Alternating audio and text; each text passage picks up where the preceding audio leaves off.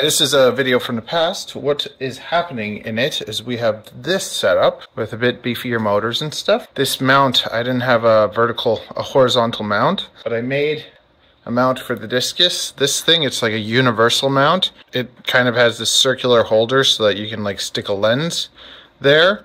And then there's a hole that a zip tie goes through. So I could basically zip tie any camera on top of that. So I have this camera like here zip tied on top this way for it to work because at the time I didn't have my horizontal mount but we're I still have to make this piece. Like you see how this protection? I have to put it here and because like see this when it takes a hit from on top there's a rubber on top and here if it takes a hit on top it's gonna hit the uh, board so I might design some more. Oh why is it not in focus that's better. So, uh, yeah, when it hits the board, I don't want to hit the top, so I might make a little bit more protection on top. We'll have to see about that.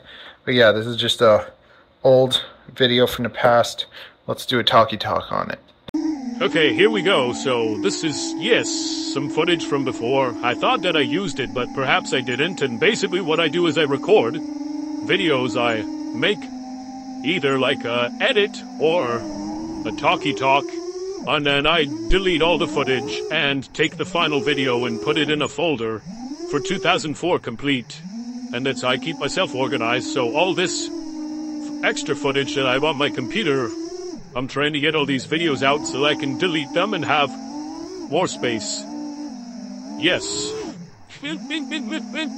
yeah, also this, I believe, was in the cold. Like, it was pretty cold, so I wasn't getting the greatest flight times, but I'm on 1504s, the Brother Hobbies. I like them. They're smooth. They sound nice. And I'm just ripping around the park. A couple minutes on a colder battery. My wife is also looking at me and rolling her eyes like, don't people have anything better to do than listen to you? Rare. Ah, which distracts me and makes this harder. Uh, but we can't, we can't let anyone, you know, if you want to be a YouTuber, you be a YouTuber, you know.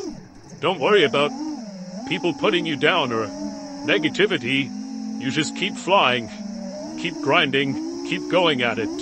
Yes, cause that, that's how you do it. Mama, no copyright sounds. None. Turn them off. Oh my goodness. Sorry about that brief interruption. The wife just loves to listen to copyright-free sounds. Or, uh, just things, you know, that I'll get a copyright strike for if, uh, they're heard by the microphone.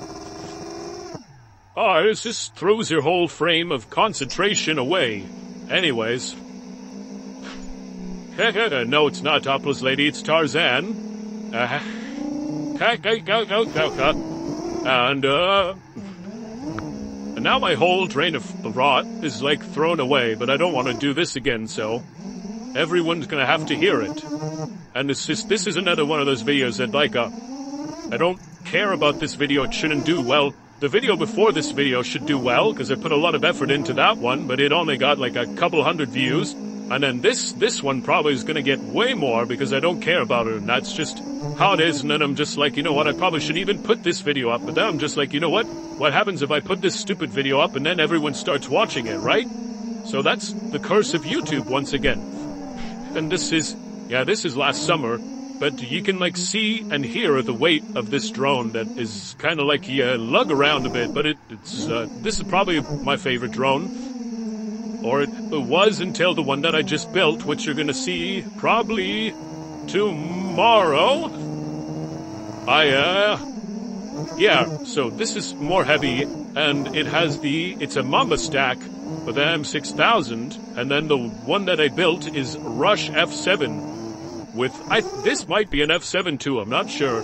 But I flew them back to back, and I was just like the, I really like the other one, and I really like this one. They both fly really, really good. This one just, I've smacked it around quite a bit, so the motors are getting to the point where I had to change one, so I did, and there's another one I probably should change. But it's just, if it still flies decently, I, like I'll fly the motors until what what starts happening is when your motors get bad, even if they can fly, you'll notice like your battery voltage going from like 3.9 to like 3.5 super quickly. So if you feel like your batteries are just dying super fast, it might not be your batteries, it might be your motors that are just kind of going on you. So then you have to go to the computer and spin them and listen for like shaking. And if it's like shaking or vibrating within that motor, then you know it's time to change that motor. But if it's just light, it, you can still fly fine and it doesn't affect the voltage, then yeah. This uh, guy saw me at the park. He was like, ooh, cool. And I told him about FPV and gave him my card. So always have uh, business cards ready and be ready to hustle, you know?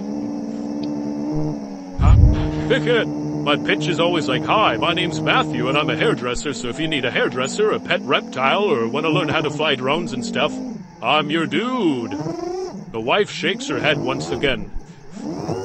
Um, yeah, motors. So yeah, if you just go to Betaflight Motor tab and you plug in your motors, you can like spin them one at a time with the props off, of course. And this you actually need the props off so that you can like feel vibrations.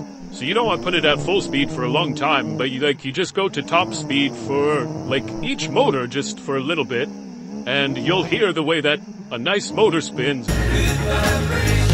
It's just nice and smooth. And then if you do it and you feel that through somewhere through that like range there's like shaking or vibrating that could be like telling you that it's time to change the motor bit so that it keeps your uh, your flying good like even with the other one that I had it was desyncing when I did power loops. It was funny because like rolls it's fine, but if I did a power loop, it would desync, and that's why I had the GoPro 10 on it, so I have to redo the whole like put it in a new case and all of that.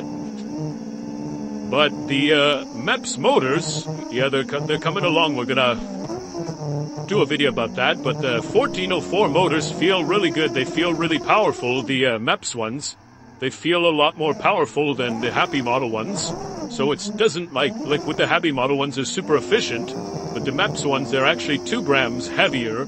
But they're also just they feel really nice. They don't they feel maybe not as good as the 1504s do, but they feel kind of like something in between. Like they didn't feel underpowered, where with the 1404 Happymodels, they fly forever, but they don't feel as powerful.